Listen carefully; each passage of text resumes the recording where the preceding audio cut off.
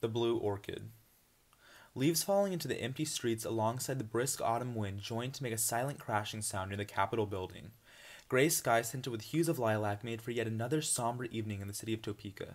Artisans made their craft, businessmen sold their product, and children played. Unity was the city. Birds opened their nests for breath, inhaling the brisk, subtly polluted oxygen in the atmosphere. The sun went to sleep as the constellations became visible. So did the city. Repetition was commonplace, while difference only imaginable.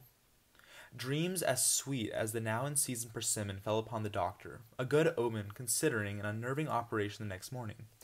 Children dreamed of toys, teenagers dreamed of love, and adults dreamed of change. Morning. A soon to be grandmother bought outfits for her sugar plum, a gift considering the mother's infertility. The grandfather lost himself in his preparations to spoil his long awaited grandson, flying paper airplanes, fishing, teaching him about girls. He could hardly wait to immerse the child in what he perceived as good old Americana. Their daughter was continuing the cycle of life, and her son would too. Her abdomen was split, accompanied by wailing from both the baby and the mother. The now grandparents caught a glimpse of baby William, and, although obvious, attempted to conceal their exhilaration until the numbness generated by their daughter's anesthesia wore off. It did.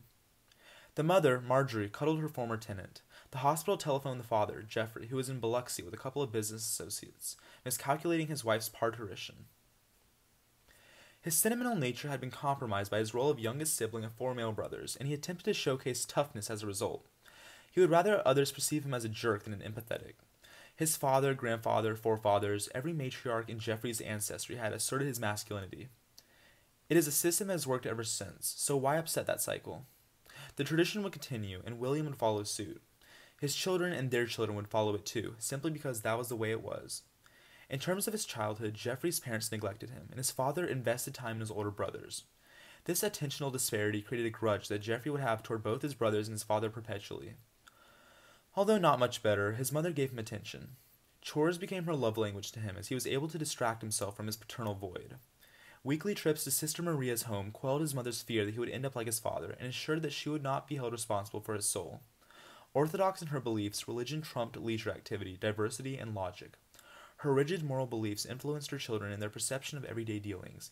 Now homogenous in their perceptions, her children would view the world in the same way she did.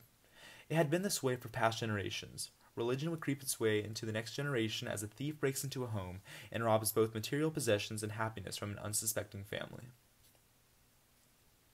When Jeffrey grew up and his mother could no longer influence him, he abandoned the beliefs his mother had instilled in him. Transition from altar boy to college carouser was the last thing his mother wanted to see.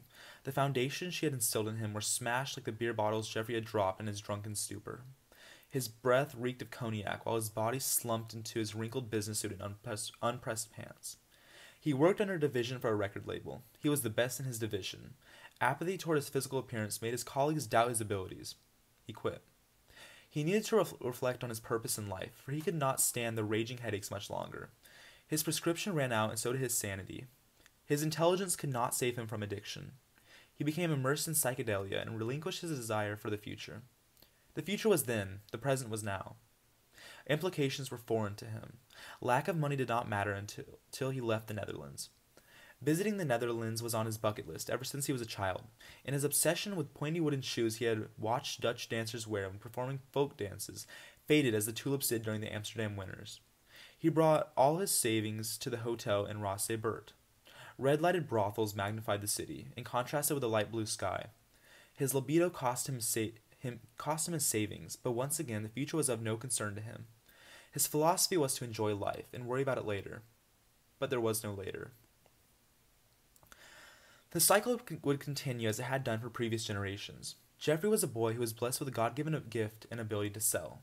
This gift enhanced his ability to lie, in which he would use deceit as a means to convince buyers to purchase his product. His sex driven trip to the Netherlands left him penniless. Poverty was the biggest motivator in prompting him to get a job at a cinema. The issue was that he had no interest in working there. Tasks that forced him to clean the gum strategically placed under theater seats, clean out putrid restrooms, and worst of all, welcome the guests into a theater, theater became the first reason that he regretted his frivolous money spending habits in the past. Jeffrey's awkward exchanges with customers made him internally cringe. It wasn't his fault. It wasn't his fault that his social skills were poor, but working there was. Repercussions had entered into his vocabulary. When he had enough money to purchase a one room bathroom studio apartment, he decided to get his life back in check. Sure, his past actions could be blamed on adolescence, but it was also an issue struggled by others in his lineage.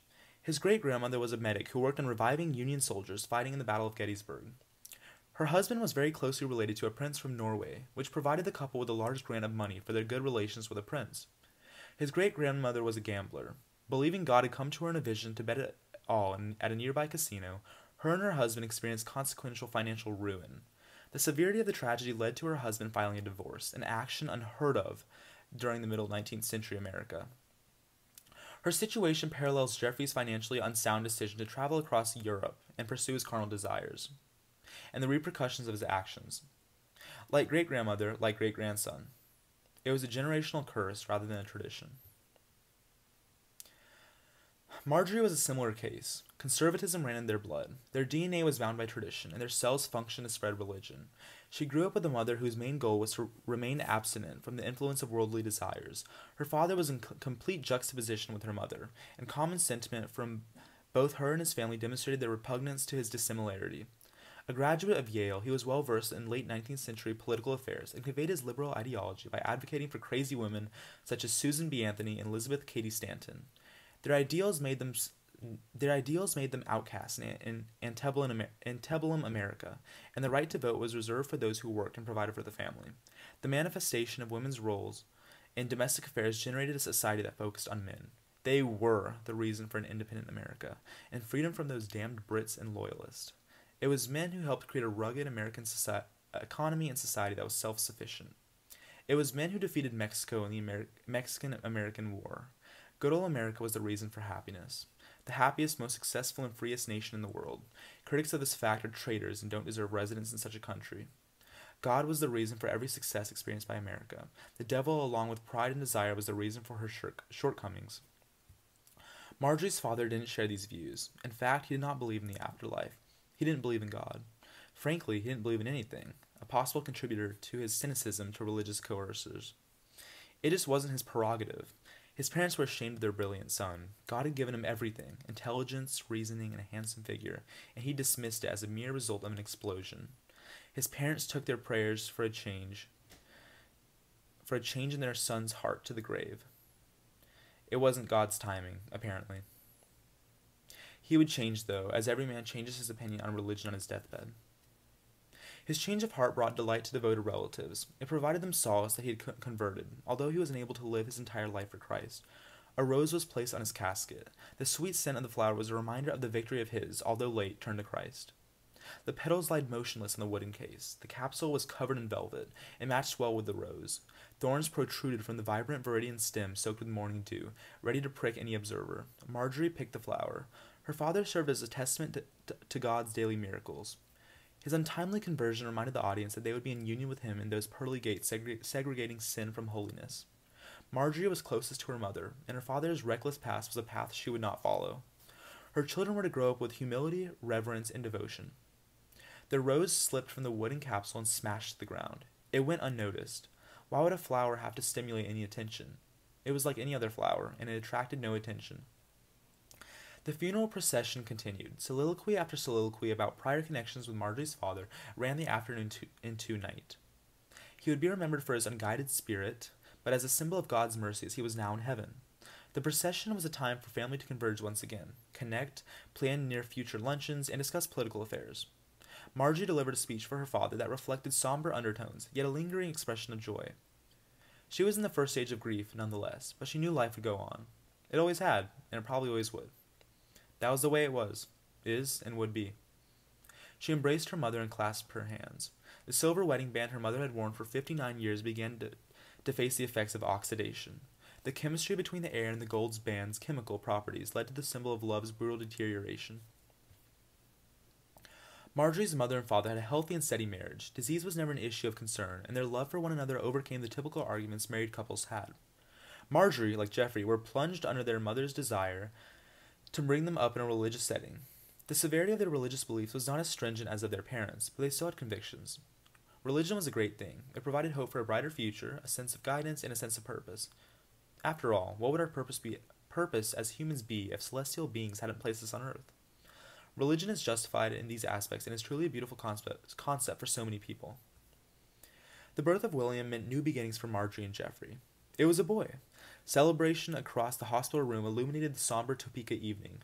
Blue banners draped the cell that Marjorie had spent the past nine hours. New outfits stitched by both grandmothers would provide warmth to the baby William, just as a mother dresses her child in excessive winter coats on a chilly day. The grandfather could no longer conceal his childlike happiness for William's conception. As death had taken the lives of so many others, a new life had been generated. For all they knew, William could find the cure to terminal illnesses such as influenza, could be the President of the United States, could even be a man of wealth. But what they did know for certain was that he would carry on the cycle of life and have children of his own one day. That's the way it had been done for, gen- for generations, and the way it would be done. In a world of uncertainty, Marjorie and Geoffrey knew that they would have grandchildren one day. Marjorie had always wanted a child, and Geoffrey had delayed her wish for more than ten years. Marjorie was lucky to have conceived her baby. Infertility was more common at the age of 40. Although William was removed from his mother's stomach, he was healthy.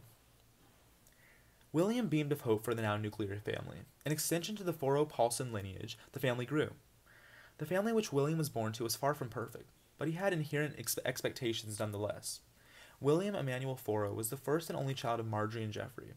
The train that transported the couple and their newborn back to their home was empty. The desolate environment cast Marjorie into a fear as it, as it was now pitch black outside. Bird chirps had been replaced by owl hooting in the distance. The eeriness of their sounding environment juxtaposed the pleasant setting established at William's conception. The train made a creaking sound when it made periodic stops, and the moon's reflection struck the glass windows, which gave the inside a more natural light. The inside lights of the train had been burnt out, and their replacement had been neglected. Marjorie felt at peace as she found serenity in her no- newborn's blue eyes. William distracted Marjorie from the unsettling environment and replicated a serenity Marjorie had believed could only be found in heaven. Heaven on earth was William wrapped in light, teal colored linens, laying asleep in Marjorie's lap. Geoffrey struggled to stay awake as he had been awake for over 20 hours tending to Marjorie's pregnancy affairs. He looked over at Marjorie and smiled faintly, displaying his satisfaction with his contribution to the family lineage. He drifted off into slumber while his wife examined the baby, making sure that there was nothing wrong with her newborn. His unconsciousness removed his observation of William's soft whimpers that kept Marjorie awake. Dreams were not common in the city, and if they, if they occurred, they were crushed by reality. The stagnant nature of life in the city fostered no sense of difference, but rather conformity conformity to a life dominated by traditionalism. William had no choice in the matter. He was in Topeka by chance and was to grow up here by his parents' choice. First day of first grade. Brown leaves covered the doormat that led into Parsons Elementary School. The sound of leaves crunching under the shoes of drowsy children and their parents, along with a cloudy gray sky, made for a common Kansas morning in August. Teachers made last minute transportation of materials into their classrooms, classrooms before school began.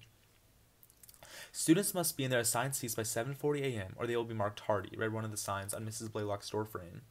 Mrs. Blaylock taught penmanship to the incoming pre-adolescents, a subject she considered to be an art. William sat in his seat as class began, while the other children were talking amongst themselves. The boys huddled together, talking about how the girls were repulsive, and the girls the same. Childhood rivalry toward the opposite gender was the predominant setting before Miss Blaylock got the class under control. William refrained from involvement in the rivalry, not because he wanted to, but because he was shy. Marjorie and Geoffrey perceived him to, perceived him to be socially inept even for his young age, as he never talked to any of the male children in his, in his vicinity. He was also deathly, deathly afraid of girls, afraid that they would judge him. William had worries that none of his peers had. Something was different about him, and Mrs. Blaylock noticed this when he would not play with other children his age during the last few minutes of class allotted to socializing. She had sympathy toward him in his isolation from other boys and girls, probably because he was her best student. William always paid attention to detail, made sure his cursive T's were crossed, double checked that his letters were in between the lines. His distinction did not go unnoticed. Geoffrey assumed William had obsessive compulsive disorder and advised he be taken to a psychiatrist for a diagnosis. Marjorie was averse to this idea. She believed it was unnecessary to take a first grader to a psychiatrist. William always paid meticulous attention to detail, not only in the penmanship course, but also in his English and history courses. The level of work required to succeed in these courses was not demanding, as the students were only children. William's attitude toward being the best in his classes was not mere competition, but rather an internal struggle for validation. Something incremental to his life was missing, and neither him nor his parents were able to figure out what it was. Life went on. William entered the fifth grade, and he had finally broken out of the cage that shyness had constrained him to. His best friends, Aaliyah and Alicia, accompanied William during lunch, recess, physical education class, and after school. There was a certain bond between the three that was exclusive to them at Parsons. The bond was of the nurturing kind, but also the playful. William teased Alicia, Alicia teased Aaliyah, and Aaliyah teased William. What distinguished the friendship from others in the grade was that there was no awkwardness between the three, despite the inclusion of both genders. The relationship broke the traditional norm of elementary education friendships. Every other friend group consisted of exclusively males or exclusively females. Other males in the grade teased William about having a crush on both Aaliyah and Alicia, to which he vehemently objected. Why was their friendship free of friction deriving from typical gender norms? William's close connection to Aaliyah and Alicia was constantly scrutinized by teachers at Parsons, but made Jeffrey a proud father. Jeffrey insisted that William was starting young, and that he and Marjorie must have the talk with him soon. Marjorie countered with the fact that he was only 10 and that he was not mature enough for such a conversation. Sex was a forbidden act if completed outside of marriage, and Marjorie made sure to accentuate this to Jeffrey. Jeffrey was not a virgin when he had married Marjorie, something that prompted her disdain. They decided to instruct William about the importance of saving himself for marriage, and that the right girl would come around. No one was able to grasp the fact that the relationship between Aaliyah, Alicia, and William was entirely platonic. Aaliyah and Alicia had no interest in William, and William no interest in them. Why did friendships involving both genders always have to have an underlying sexual motive? Societal misconceptions should not be toward children's relationships. Why complicate something this, that was beautiful? William never understood why his male acquaintances at Parsons always investigated his connection with his best friends. He had no feelings toward either of them. For a matter of fact, he had never had feelings for anyone. William was not a cynic, but rather a child. Children should not be required to have affection toward anyone, especially not at the especially not at 10 years of age. What was awkward for William was that all the male students in his grade had crushes on Aaliyah and Alicia, and everyone suspected he did too. He was alienated on the grounds of jealousy. How come William had it so easy with interacting with the two prettiest girls in the grade? Male students flung name after name unto him, and never included him in recess, recess activities or after school games. Marjorie and Jeffrey were alarmed by the polarization that was formed between William and the other male students. The two parents contacted the principal at Parsons to discuss their concerns and were written off as being worrisome. The issue was nothing more than mere jealousy. The boys simply wanted what William had, the principal said. William never easily facilitated a connection with any male in his class. He began increasing he began increasingly making more female friends, however, and they filled any void that could have been filled by male companionship. His entrance into middle school was marked with increased segregation between other, other male students and himself. He had nothing against the other male students, he just didn't have the same connection he did with his female friends. Mrs. Watkins, a seventh grade social studies teacher at Branson Middle Years Academy, noticed the disparity between William and the other male students. Her seating arrangement was altered so that she could include, even if forced, William into the all male study group. He enjoyed the history of the United States, French Revolution, the Enlightenment, but ambition was looked down upon. He never truly exposed his intellectual abilities in fear of receiving a label characterizing him as a nerd. Societal pressures sunk him down to inferiority and complacency. William was too afraid to be himself in front of the students in his new study group. He was in a new environment after all, so it was understandable. He rarely opened his mouth during brainstorming, something his group disliked. His contributions were minimal, despite being the most well versed in history affairs. His mind confiscated his speaking abilities during third period, and his participation grade dropped. Marjorie and Jeffrey once again were surprised by their son's dropping grade. The stellar nature of William Fora was compromised by his uneasiness around those like him. On every physical level, he was the same as those in his study group. He was smaller than most of the other males at Branson, so his parents concluded that his dissociation with other males was due to lack of body positivity and insecurity. The boys, unlike William, were in touch with reality. Their reality was different than William's. The disparity in his conversation and mannerisms displayed a male, but a femininity. He wondered why he felt so strikingly different than his male peers and began to delve in self loathing. He would lay awake trying to comprehend his inherent difference that segregated himself from the boys in his grade. Thunderstorms in his conscience drenched his eyes and turned them velvet. He was fighting a war against something he did not quite know. The damage incurred would serve as a reminder to quit being so damn emotional. Something his grandfather would say to his father. Expression of emotion was a female characteristic in the Foro lineage.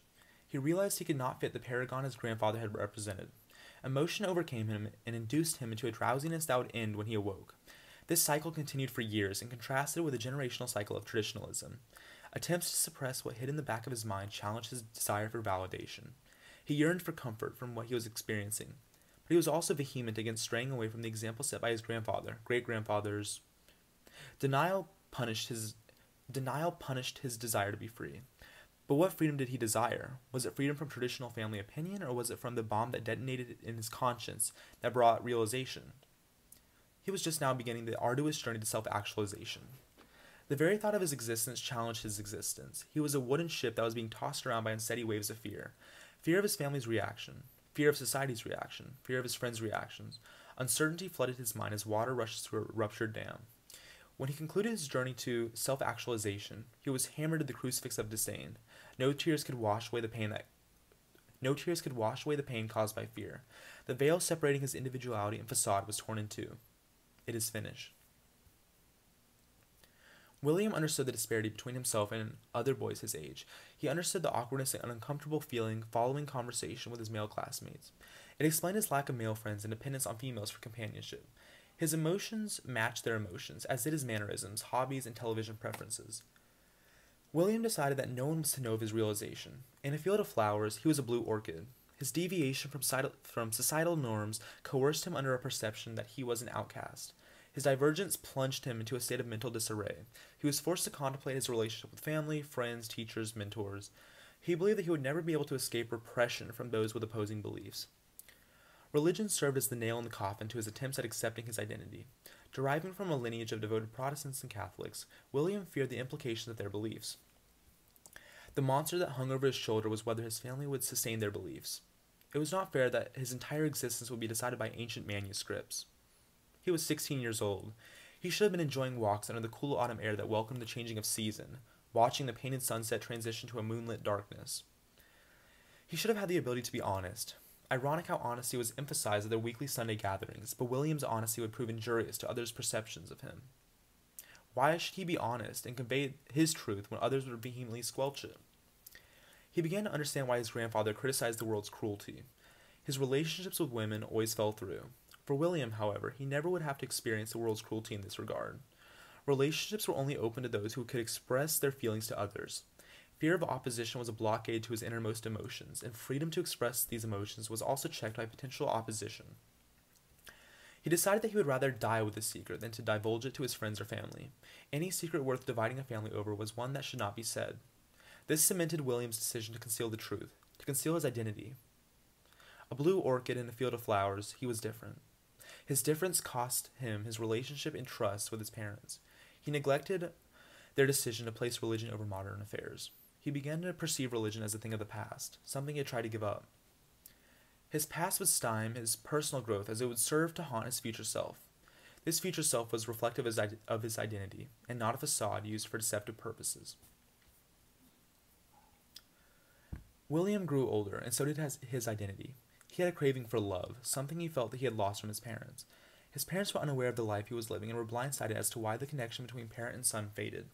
William accepted, accepted his identity, but he was too afraid to inform others of it. Kansas was not a prime environment for someone like William to express his diversity. While diversity may have been welcomed elsewhere, he was at the wrong place at the wrong time. The 1950s was consumed by Cold War tensions and US Soviet Union rivalries. Communist hysteria extended into the social climate. Social is- issues and deviations to the American norm were labeled as communist, regardless of the subject. William was proud of how far he had come in terms of self acceptance. He had once hated himself and had relied on self loathing to hopefully change his attraction from males to females. Marjorie noticed a change in William, and she began to make daily checkups on him. Her son had grown her son had grown up into a fine young man, but he had not permitted her entrance into his life. He made every attempt possible to avoid the topic altogether, but was proud of himself for persevering despite potential opposition. It did not matter, however. What he knew in his heart was that he was happy with who, with who he was becoming, he was proud of his identity after so many years of hating himself for it. His journey to self acceptance was finished. Note from the author The point of this book was to take time and reflect on the inherent difficulty it is to be a member of the LGBTQ community. While it may be brushed under the rug, members of the LGBTQ community face not only discrimination from others, but even from family members. Although religion is a very beneficial source for, for providing hope and guidance, it should not be used to impress one's belief on others. The United States is a country that ensures protections for all of its citizens. The right to practice religion is protected under the First Amendment to the Constitution. Civil rights legislation that supports pro LGBTQ rights advancement is also endorsed by the federal government. I personally believe there should be respect for both religion and other smaller minority groups, such as the LGBTQ community. The blue orchid represents the protagonist, William, and the sadness that accompanies his journey to self acceptance. It also represents his difference among the others. However, as is any flower, he is still beautiful, regardless of his difference. Thank you for listening to this book, and I hope it resonates with at least one person who did not previously support LGBTQ civil rights. Thank you again.